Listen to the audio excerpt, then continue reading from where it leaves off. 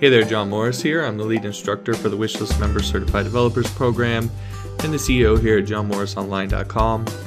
And in this video, we're going to talk about the combo method of creating a responsive website. So, um, this one's kind of cool. I honestly think that this particular layout is going to become more and more popular. Um, if you've taken a look at any of the you know the new stuff that uh, Facebook is doing with their new layout for their um, desktop version of their site.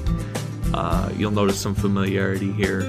Um, and I think we're going to, I just think in general, when it comes to building designs for uh, uh that that work across a, a mobile device, a you know a laptop or desktop, a tablet, and so forth, and giving the really the exact same experience um, no matter what device someone on is on this is going to ultimately be probably the best solution um, because regardless of what they're on they're going to get a really similar experience. That's one of the disadvantages of if you look at a fluid grid is that with a fluid grid eventually if you get to a small enough screen size you get to a point where it flips from a left to right or a side by side type layout to a top to bottom type layout um, and so what you end up with is you actually end up with a pretty significantly different experience. Yes, they can see all the content. Yes, it's mostly the same content, but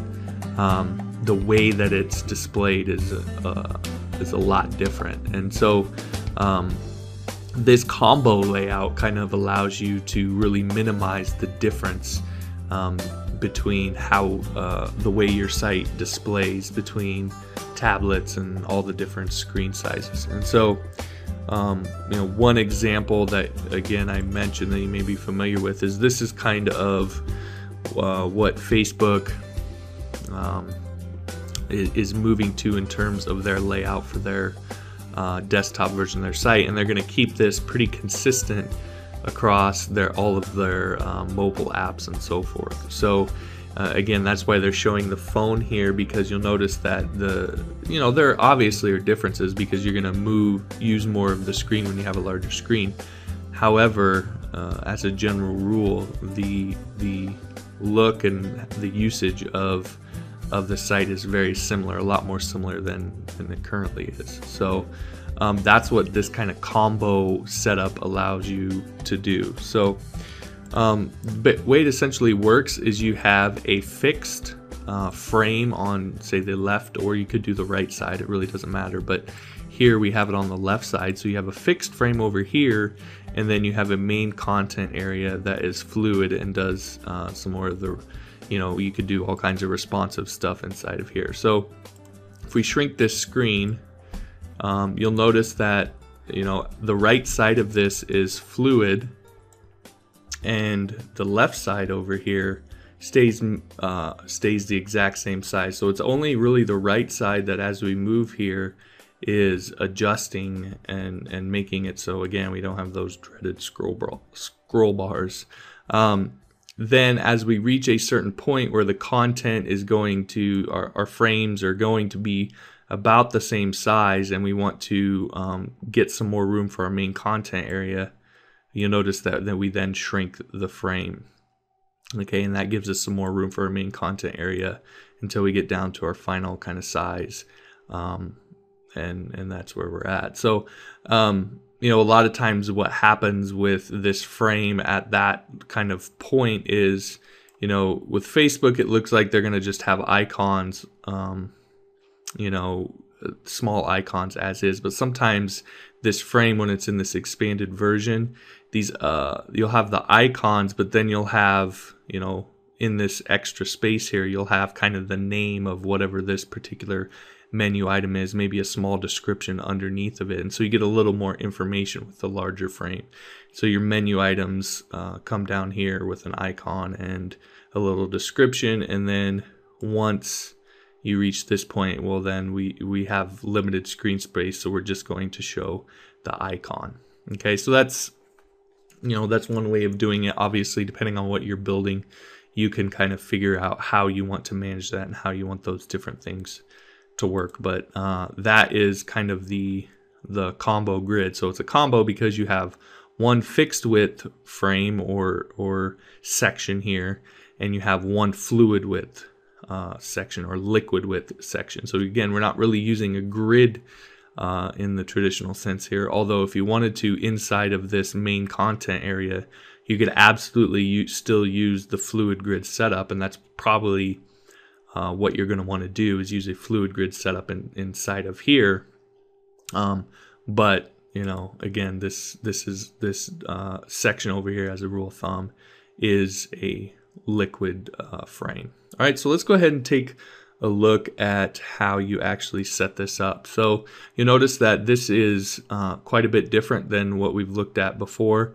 Um, so you know we'll just start with our body tag. We're just kind of uh, this is uh, really just kind of resetting um, everything that the browser may do to our body tags. So getting rid of all the browser padding and so forth um, making sure that you know our our divs expand to um, expand full height. Our body tag expands full height. You'll notice that um, we have some hacks down here for IE6 that kind of are are are meant to do the same thing. So they just uh, kind of basically update IE6 to work kind of how more modern browsers do um, that are related to the body tag here. Um, oh, here it's uh, it has to do with margin versus padding and so forth on on this particular one. But the main thrust of what we're looking at is these two right here. So we have our span three, which is our left frame. So our black kind of frame here. That's our span 3. So with it, what we're doing is we're positioning it absolutely. So we're positioning absolutely um, within its container, which happens to be the body tag. So we're we're positioning it at the very top left corner up here. Okay, and that's important to do so that um, when we get into the top and the bottom and the you know uh, this is essentially kind of what helps this to stretch the full height. You'll notice that even though I have no content that fills this, that makes this frame be full height, it's still full height. Um, same with our main content area div over here. Uh, and that's done basically through this absolute positioning top, bottom, uh, and of course left. Um, for this fluid width, again, uh, with the fixed, um, and then we're doing that uh, pos positioning and we're doing the top zero and we're doing the right zero, bottom zero. That's what allows those to be full width, even though the content isn't actually making them full width, um, which is important on this particular setup. Okay, so uh, really the main thing here, the big thing that we're looking at is our span 3 we're setting to a width of 300 pixels. So this is however wide we want our frame to be. So I pick 300 pixels, you could pick 200, 500, whatever you want this frame to be. Um, you pick that size and that matches up then over here on our fluid div.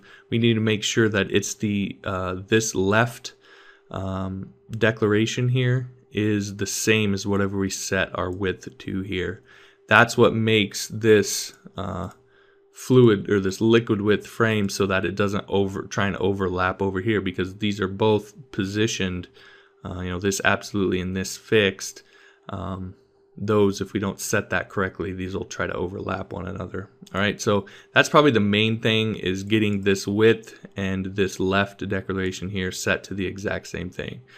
Um, and then of course we have our overflow auto which allows us to you know scroll through um, you know, as as we have more content down below here, it'll make it scrollable and all that. Because of the way there's we're doing this, we kind of need to uh, explicitly set that.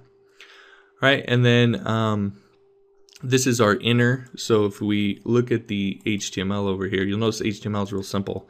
It's basically just this span three um, with this inner div inside of it and our content, and then the span fluid with the inner div uh, in our content inside of it. So it's really just two divs with this inner div inside each one. So this inner is essentially what allows us to um, set our margin and padding and so forth. So that's what gives us, when we look at this, you notice we have some space around our text here. That's what sets that. So you could, of course, increase that or decrease that as you see fit for your particular layout. as I mentioned, the hacks uh, for IE6, these may, you know, for you, you may decide the, these aren't really necessary. IE6 is pretty old, so, uh, you know, supporting it is, is, you know, to me, it's optional, but I'll leave that up to you. All right, the last thing that we're going to look at here now here's the kind of the responsive part of this in, in terms of making the frame smaller as we get to a certain width. So when we reach a um, basically a max width of 768 pixels, so anything 768 pixels and below, which if you know if you're familiar, that's an iPad in the vertical position. We're going to change the width of the span 3 up here. It's 300 pixels. We're going to change that to 100 pixels. And so when we do that we also need to change the left declaration of our span, span fluid to 100 pixels as well so that these match. Okay? So that's what gives us the the transition from the wider frame on the left to the narrow frame on the left okay so uh, obviously again you know on this right hand side here depending on how you want to manage this, you know, you can do, you could again use some of the other approaches like the fluid grid inside of here. And so your CSS would contain uh, a lot of that, um, a lot of that CSS as well that we already talked about in uh, the fluid grid. Uh, so you could still use that on that right side, but uh, again, this gives you kind of a combination approach that, in my opinion, I, I just I'll, I'll admit I'm a fanboy of this uh, type of design. I think it's really cool, and I think this is where a lot of things are headed. Um, you know, as we become more integrated with mobile devices and and apps and and so forth, uh, because it helps you create a more consistent uh, design across all of those devices. The only real change is when you get to really small devices, making this smaller, but uh, that's a pretty small change uh, when you when all things considered. So. Um, so that's kind of the combo approach. Again, a combo approach because you have a fixed width and you have a liquid uh, liquid uh, frame here. Um, so that is how to do the combo approach. Again, you can move this over to the right side if you wanted to, um, uh, or, or, whatever the case may be uh, for your particular design. So again, that's how to do the combo design. Hopefully you enjoyed that.